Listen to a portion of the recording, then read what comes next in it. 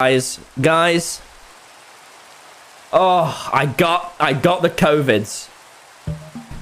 And it's so, but but the problem, oh dude, that wasn't even the, oh god, it's a different one. And it's because now I can't taste shit. Uh, but it's all right. I, like we did all, I did all the precautions. Man's been staying inside and shit. It's just, it's basically just like having a really bad flu, right? Like it, it it does, it sucks, but it's fine. But I've just like every day you're like, cool, punk.